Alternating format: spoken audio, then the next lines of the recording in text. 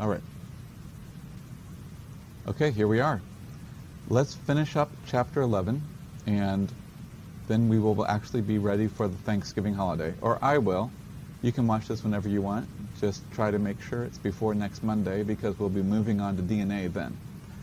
Okay, so we left off with this part of the recording that gram-negative bacteria have um, different structures on the outside. We've mentioned gram-positive bacteria. Remember the gram stain will bind to the pentaglycine cross links that are on the outside of the gram-positive bacteria's outer armor. And uh, of course, bacterial membranes are very important to us. If we can somehow mess them up, we can somehow destroy the bacteria. So gram-negative bacteria um, have a distinctive membrane of their own. It's just important to point out that uh, all of these bacteria tend to follow this pattern. They have phospholipids on the inner leaflet, on the green on the bottom here. But then above that, they have a special lipid called lipid A. And that lipid is actually attached covalently to some kind of core molecule. Usually it's sugars, but it can be kind of anything they throw onto it. And then they add more sugars, which is the O antigen. This follows the general rule if you're outside, you're glycosylated in some way. A sugary outside um, makes everything more soluble, more stable, and actually it shields it from immune attack as well.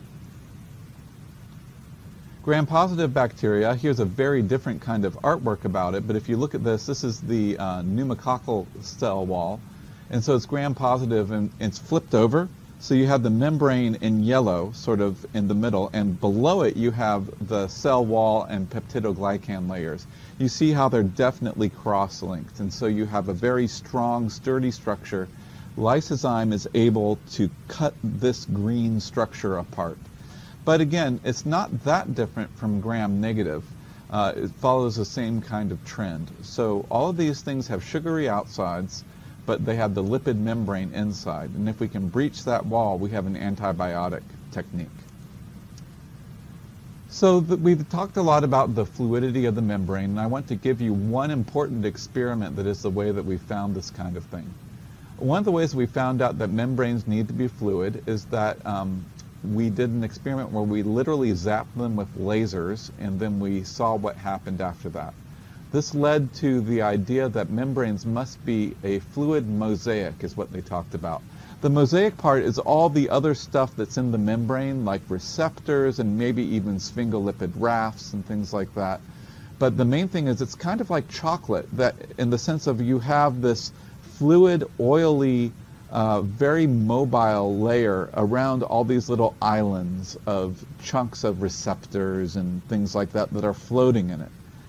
That is the main idea to have, that it's really more liquid than solid for the majority of the membrane, and that's why they call it the fluid mosaic model. It's a lot of motion, but it's limited to only two dimensions, and it's sort of uh, two-dimensional across motion rather than up and down from bilayer to bilayer motion. One of the ways that they showed that most cells have a very liquid outer membrane is they did this experiment that's shown over here on the right. When you have a cell and you put a fluorescent probe on it that will attach to the head group, you basically coat the entire cell with a red molecule that's covalently bound to the membrane lipids. And so when you look at the cell under a microscope, it looks red. The thing about fluorescent labels is they will glow very brightly when they're hit with normal light. If you hit them with intense light, you'll burn them out and you'll do something called bleaching them. And so what you'll do is you'll actually, uh, if you zap a laser at the part that you're looking at, you get something like what's shown on the third level down. You get a big white spot exactly where the laser hit. But what they did is they kept looking at the white spot after they zapped it with the laser. And what they would see is that over time, sometimes sooner, sometimes uh, a little more slowly, but definitely eventually when you have the cells at room temperature, the white color will be filled in with red color diffusing in from the other parts of the membrane that have not been zapped. And so that's what you have. You have this, um, this is one of the investigations that let people see, oh, the membrane really is more like a dissolved fluid than it is like a set in place protein solid kind of structure. And you can measure the rate and you can see just how fast the membrane can dissolve. And this led to this model where the membranes are primarily fluid. In fact, if you have a membrane get too cold or get too solid, it stops working well.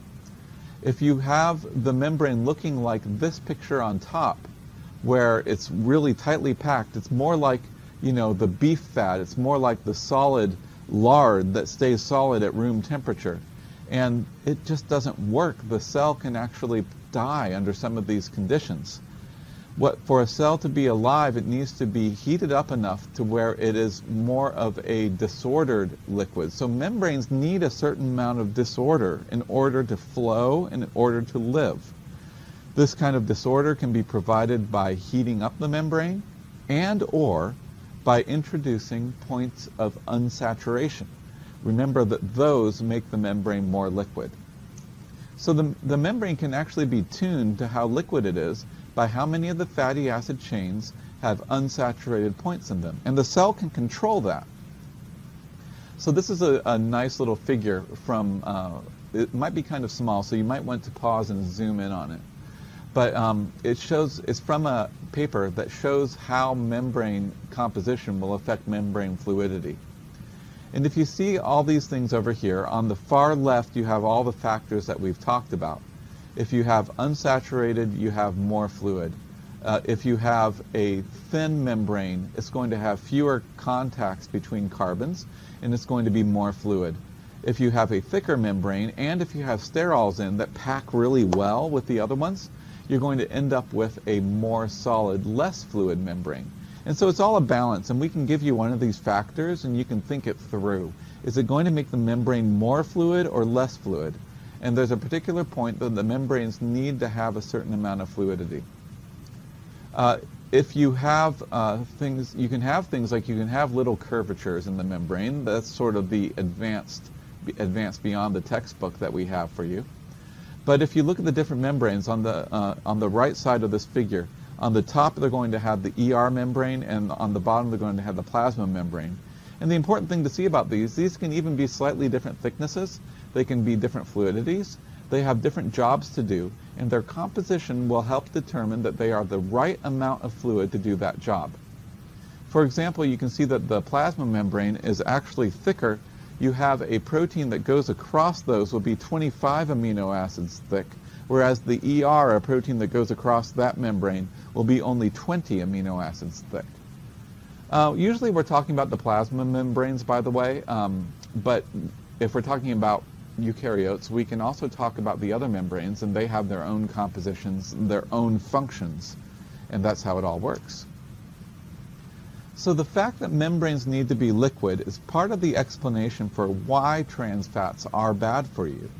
It turns out that trans fats, because they reduce the fluidity of the membrane, they make the membranes work less well.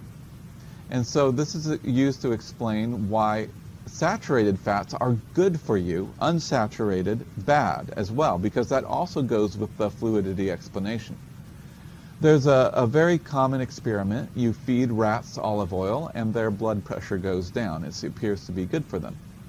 And so in this context, they fed rats different fatty acids. They fed them the natural cis oleic acid, then they fed them the trans oleic acid, and then they fed them soybean oil as a control, which has no oleic acid.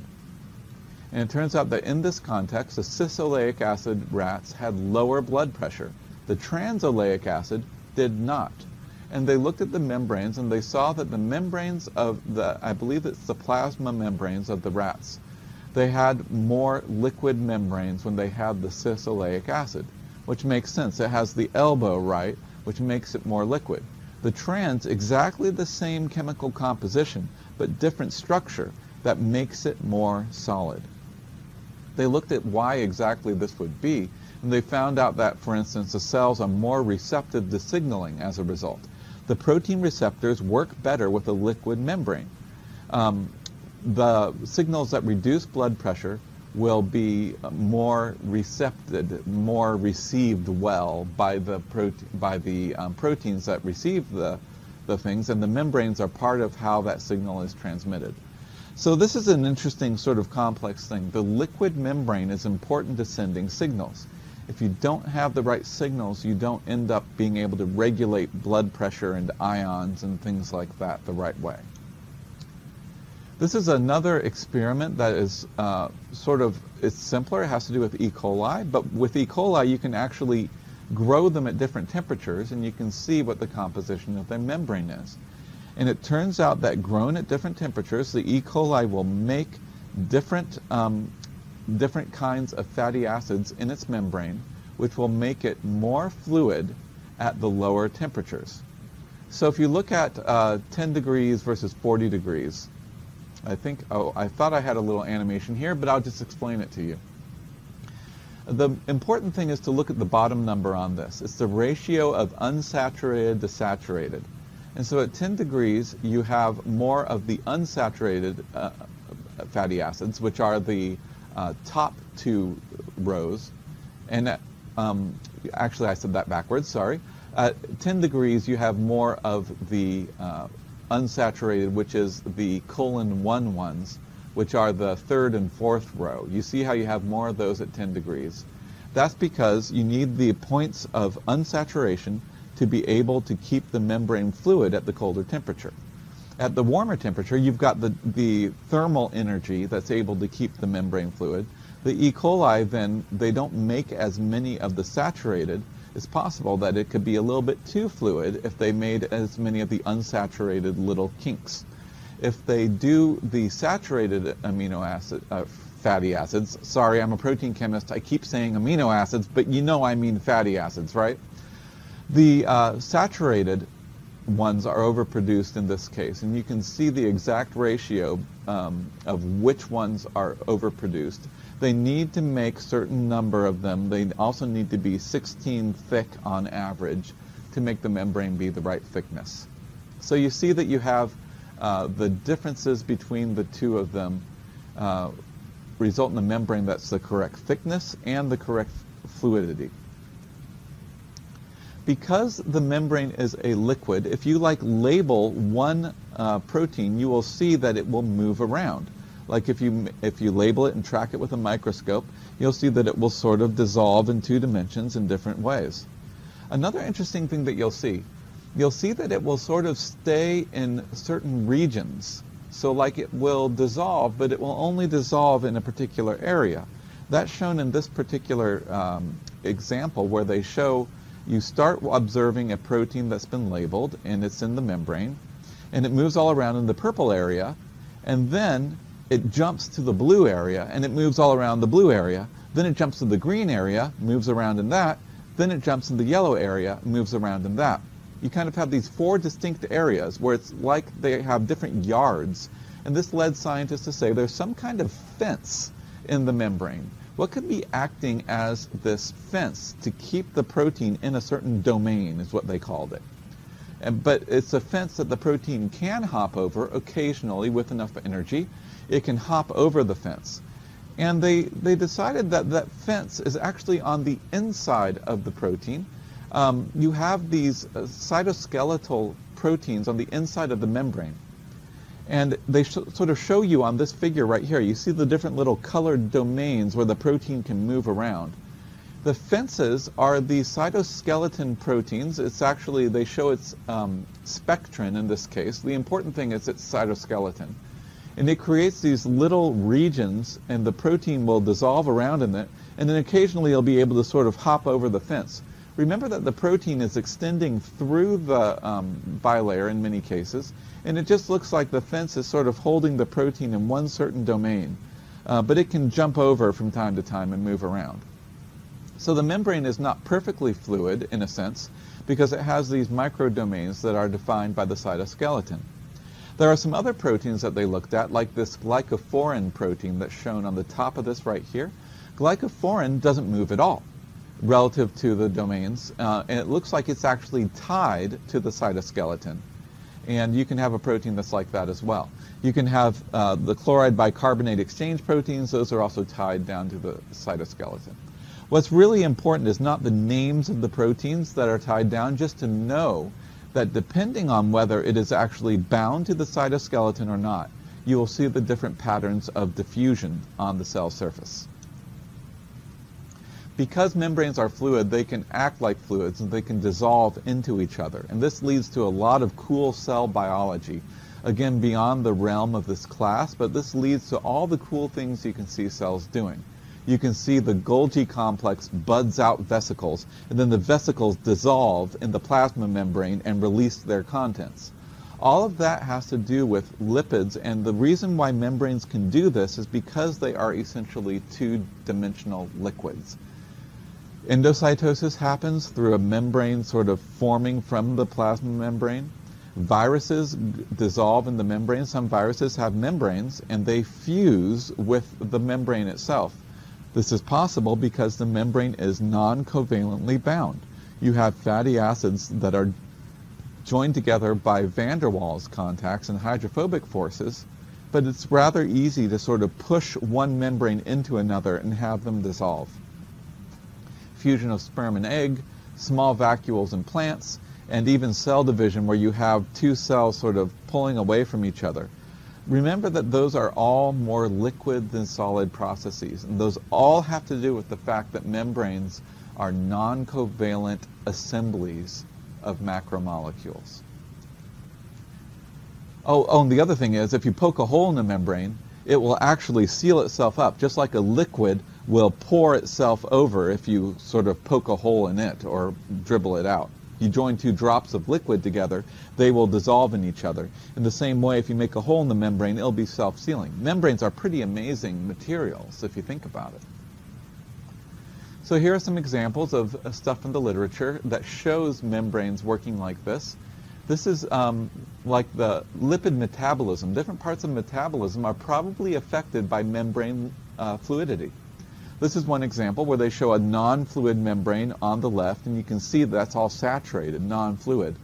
And then if you have a fluid membrane in the middle, you have a different kind of fluidity because you have unsaturated chains.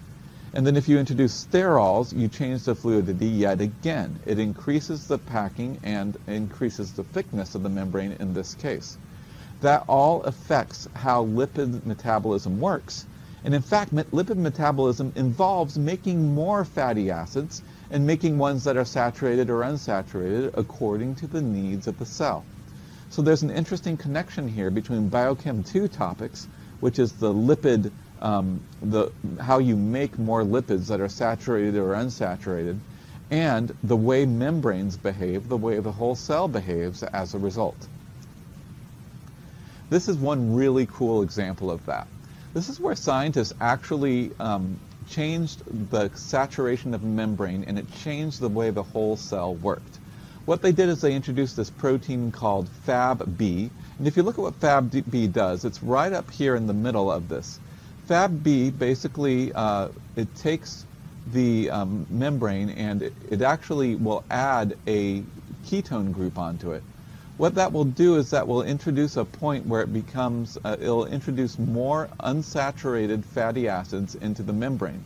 So you end up with phospholipids like what's shown right here in the middle. You end up with phospholipids with more points of unsaturation, which means they're more fluid. By introducing this gene into E. coli and turning it on and off, the scientists were able to control the fluidity of the E. coli membranes. And so they have this figure right here. Uh, they added arabinose, which turned on the gene, and depending on whether the gene was turned on or not, they ended up with more or less acyl chains that were unsaturated. And remember that the more unsaturated you have, the higher you are on this graph, the more fluid your membrane is.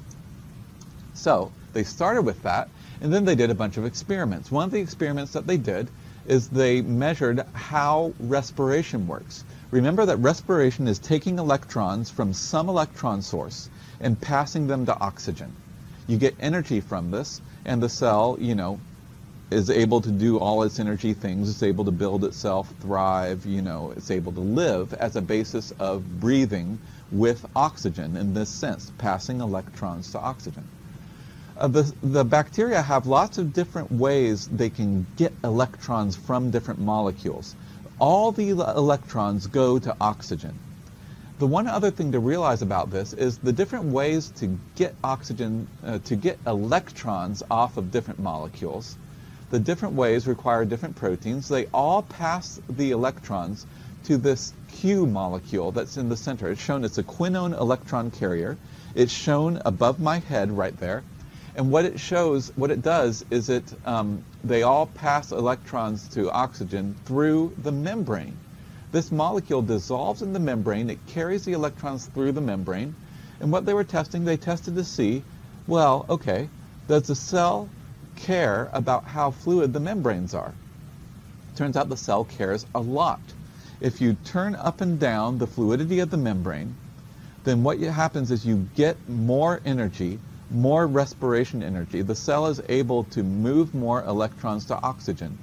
In all three cases, all four cases really, that they show above my head right here, whether you give it electrons through succinate, uh, whether you give it through um, glycolysis, I think it's glucose that they're doing there. I think it's glucose that they're showing, or they, they can give it through um, pyruvate as well. All of those different ways of giving it electrons, it doesn't matter. In every case, you end up with more respiration if you have more fluid membranes. And they say that's because all of the electrons have to go through the membrane, because they have to go through this Q molecule that's shown in the upper left part of this. So the more fluid the membrane, the higher the respiration rate, no matter how the electrons are supplied. I think that's a really cool thing because it shows that there is a physical process, physical diffusion process, and that's might be limiting on all of life. Membranes might limit respiration because you have to dissolve through the membrane. The electrons have to go through the membrane, and if you have a membrane that's too solid, the whole cell will be able to breathe less, will be able to pass electrons to oxygen less. This is kind of complex, but it's the kind of thing that I want you to focus on. There's only a couple more topics I want to talk about, and most of them have to do with the proteins in the membrane. There's different ways you can look at an amino acid sequence and tell something about how it goes through the membrane. For one thing, you can just see, are there a lot of hydrophobic residues in a row? Well, that's probably the membrane-bound portion. Are there a lot of hydrophilic residues? Well, that's probably soluble, and it's probably either outside the, the membrane or inside the cell, outside the membrane in that sense. And so if you have a protein sequence, you can ask the question of where is the hydrophobic region, and um, the hydrophobic part is probably the part where it's stuck into the cell membrane if you, the other thing that you can do, remember we have glycosylation sites, and we actually know what the glycosylation enzymes like to work with. We can look for those signals, those patterns in the amino acid sequence. And if we find those patterns in the protein, if we find a lot of those patterns, we can say, oh, this part of the protein is probably outside the cell because that's where the sugars are.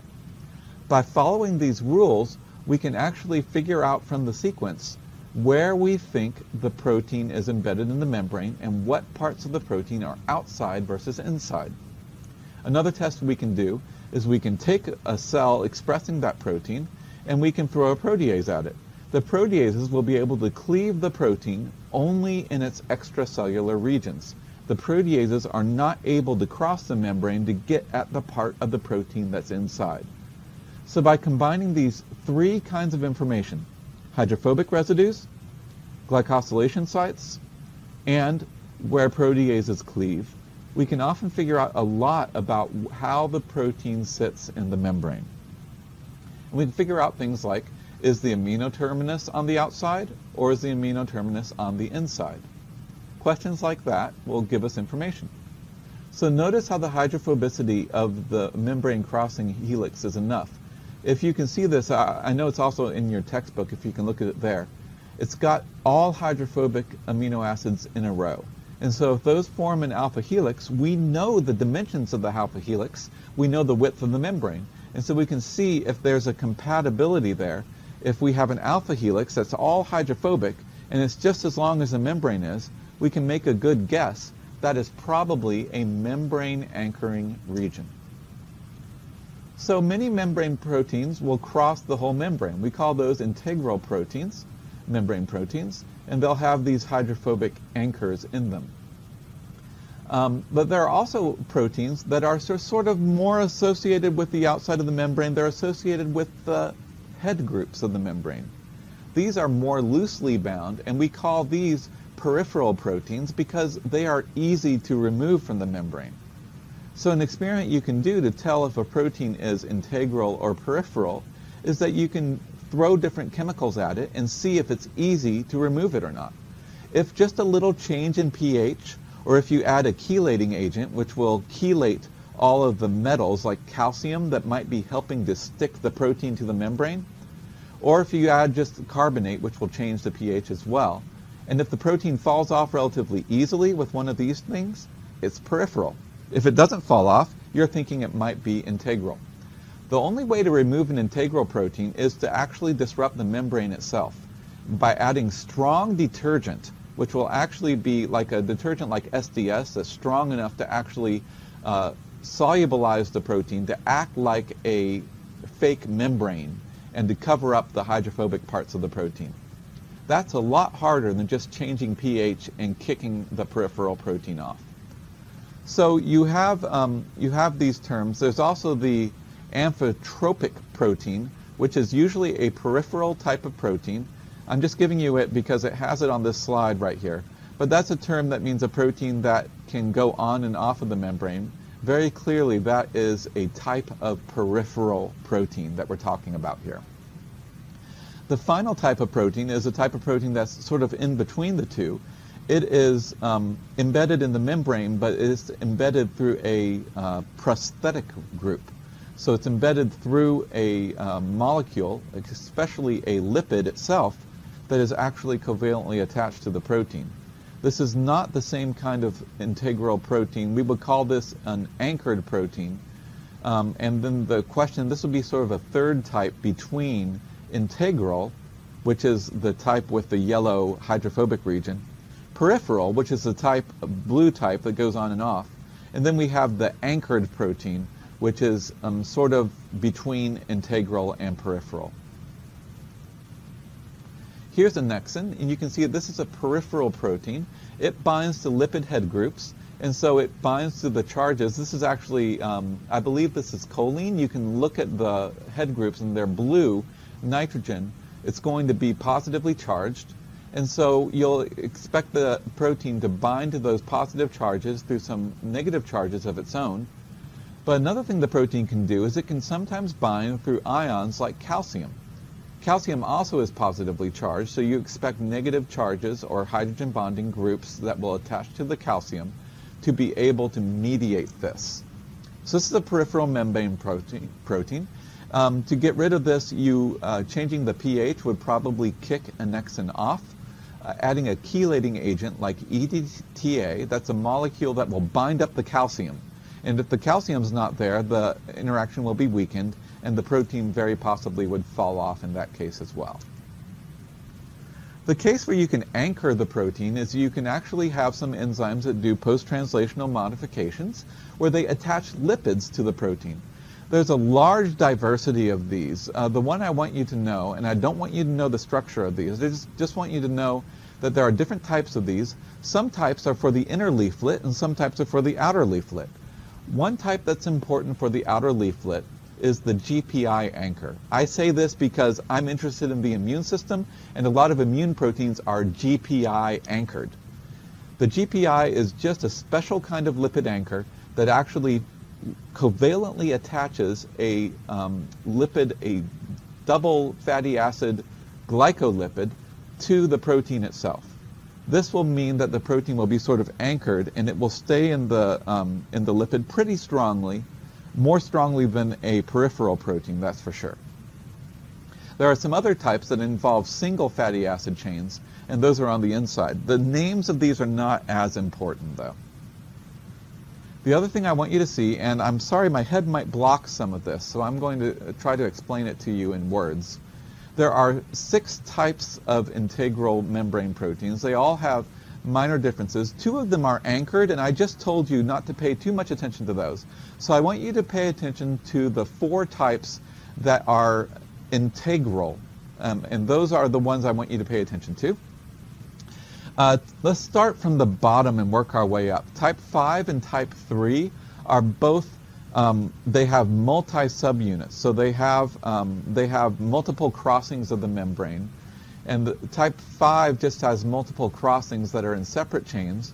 Type 3 has multiple crossings all in one chain. And um, that's the difference. It's, these are relatively simple, so that's why I want you to know them. The other thing is type 1 and type 2 proteins. And notice, by the way, inside is on the top and outside's on the bottom in this. So I want you to study this, but I want you to know the difference between type 1 and type 2 proteins.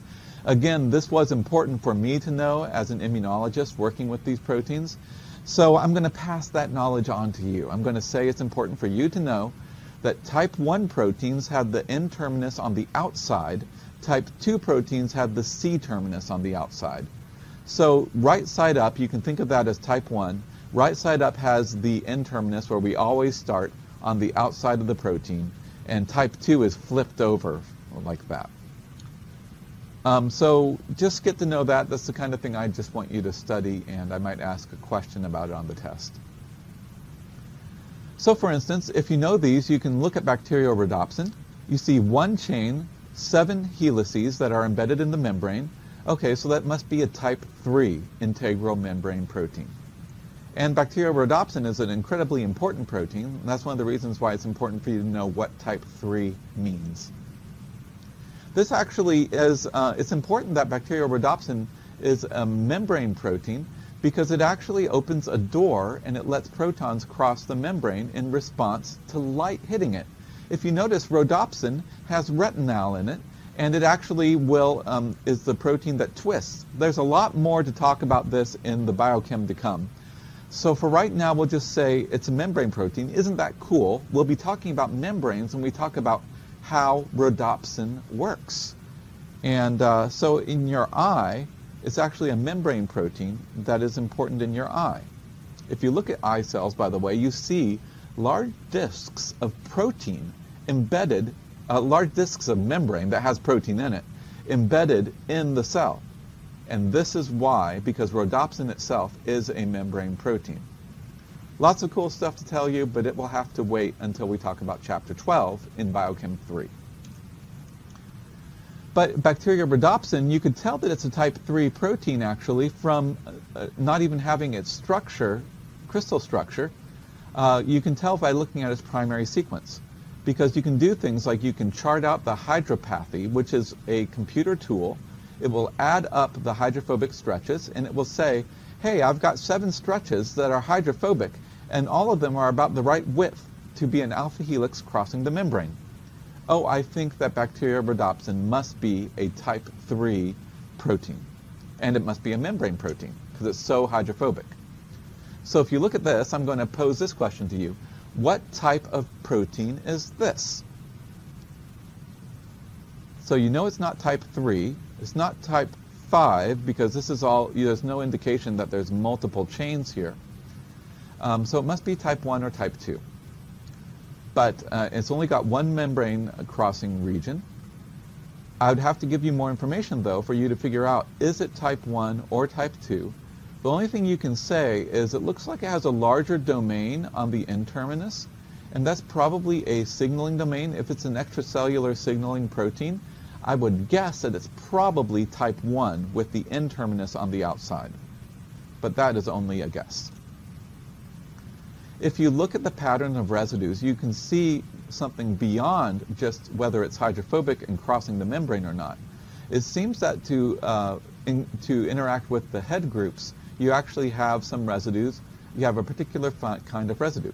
Look at this figure right now and try to figure out what the blanks are covering up.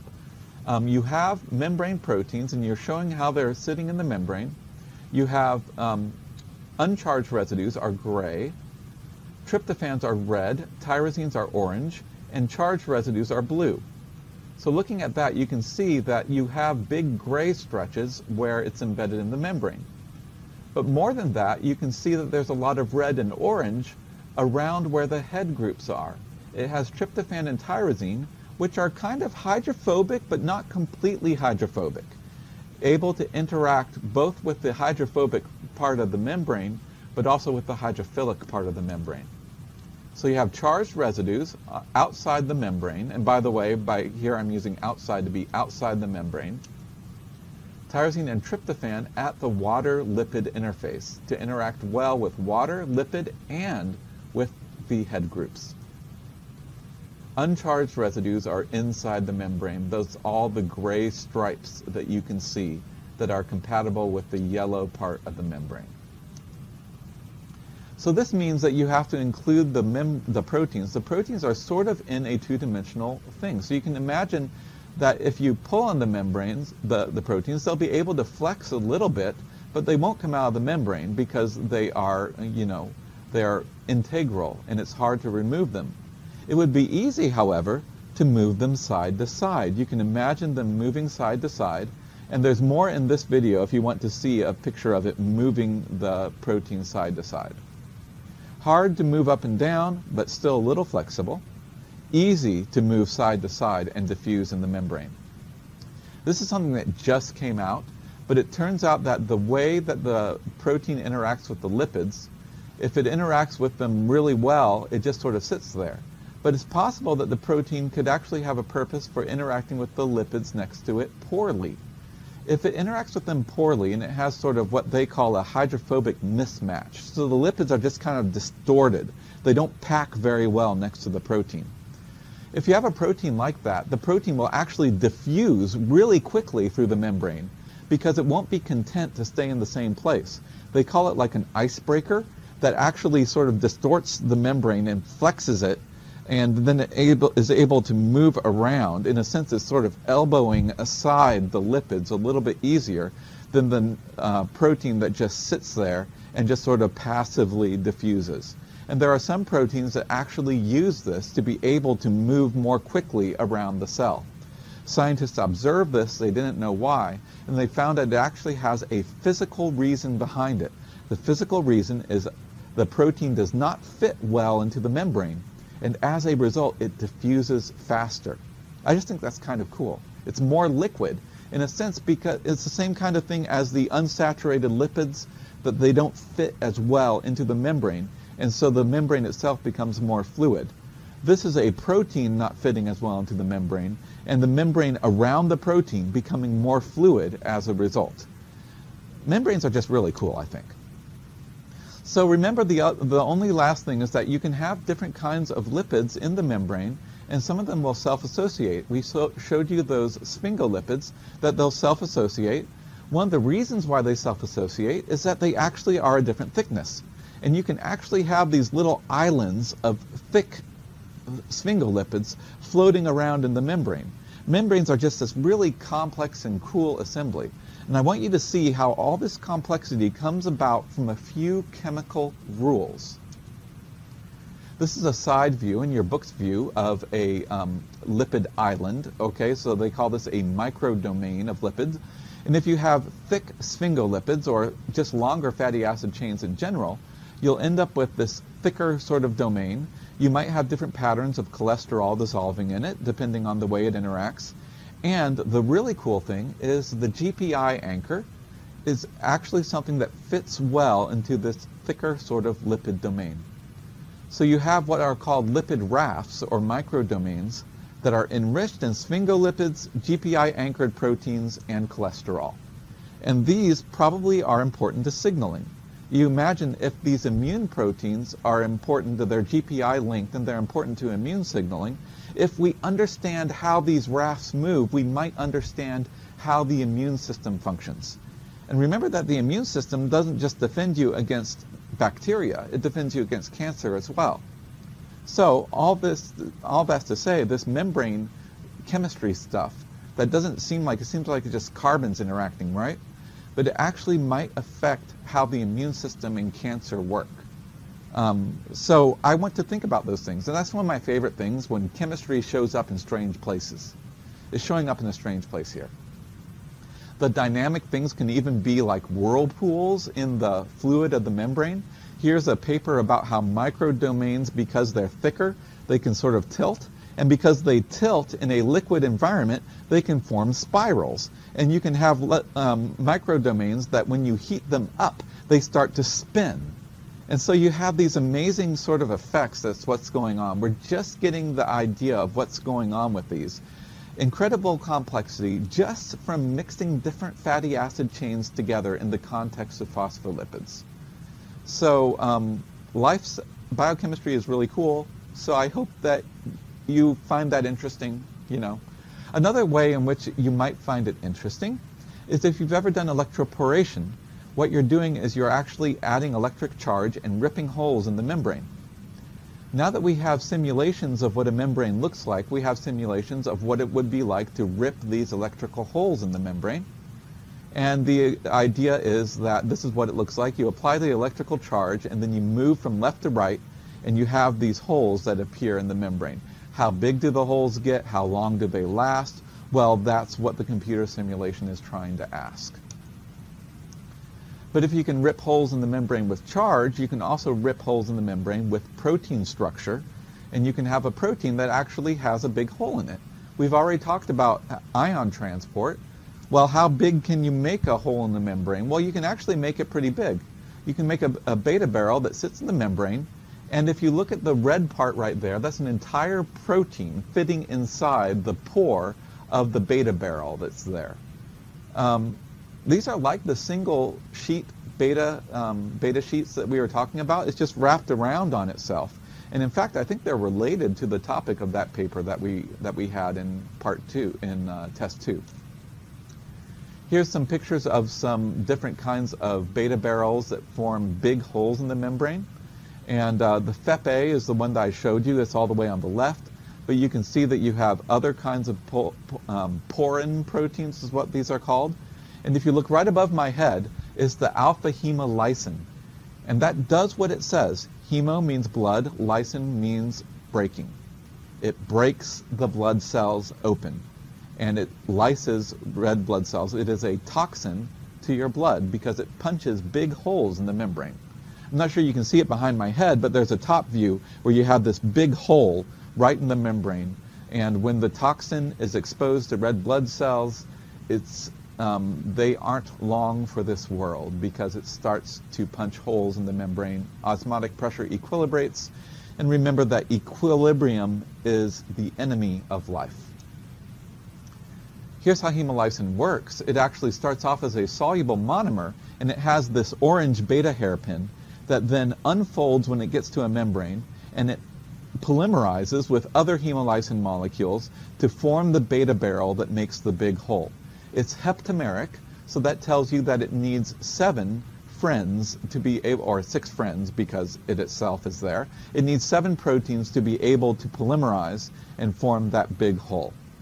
So that's how hemolysin works. I'm not sure what organism makes it. It seems like the kind of thing a nasty bacterium would make. Uh, and when it gets to your red blood cells, it will blow them open.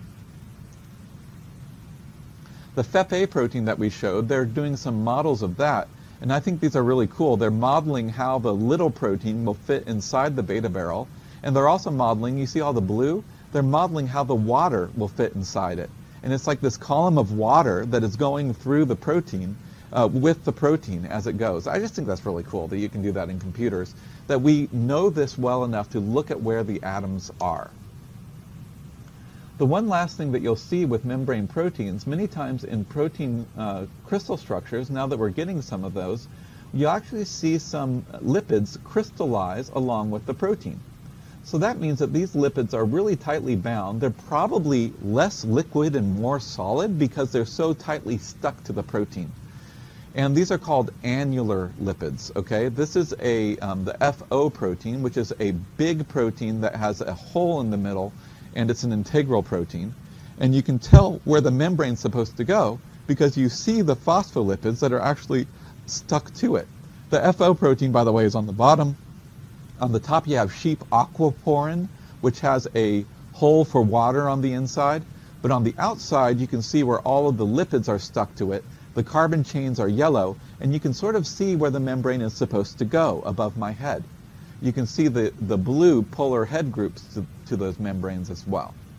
So these annular lipids help us see that there are some tight interactions between the lipid membrane and the proteins. We can even still see it in crystal structures. this is the very last slide, so you've made it. Um, I want to explain why cardiolipin works. Cardiolipin looks like it's an annular lipid. It looks like it's actually bound to the protein, and I think we've gotten some crystal structures with cardiolipin bound. And remember how cardiolipin is weird because it has a whole nother membrane lipid. It's kind of a covalently bound two for one lipid. The head group, its heads are conjoined. Okay? The reason for this is that both of the lipid tails are attached to different proteins, and so it's literally cross-linking the proteins through the annular lipids that are stuck to the proteins. The reason why we know it's important is because it joins together proteins that are part of the mitochondrial energy apparatus. They're part of the electron transport chain. And it looks like these are really important because if these are not present to staple the membrane proteins in place and close to each other, then the mitochondria don't work as well. And cardiolipin, as you might suggest, is important for cardiac function, and it looks like this membrane's function, this biochemistry right here, the two-headed version of it, that allows it to tie proteins together, helps tie your mitochondrial electron transport chain together, helps tie together your energy-getting processes. So here you have a lipid structure that holds your body together. And so, on that note, I think that we've brought this out from the atoms to the entire structure of your cardiac, um, your cardiac mitochondria, and that's where we can stop. So congratulations, we finished chapter 11. Now please uh, start to work on the homework problems and the foundations. I'm suggesting that you do them in this order with the foundations last this time because the foundations are sort of open questions and it helps to have the experience of the Lehninger homework before moving on to foundations in this case. The last thing I'll mention, there will be a reading quiz for of chapter 8, so please read chapter 8, do the quiz by Monday. Other than that, enjoy your day off, except for the half hour or so biochem lecture that I recorded for you. And I look forward to seeing you on Monday, where we are going to close out the book by moving on to our last topic, which is nucleic acids and DNA. All right. So I'll see you then. Have a good Thanksgiving. And um, can you believe it's already almost December? I will see you in December, in fact. All right.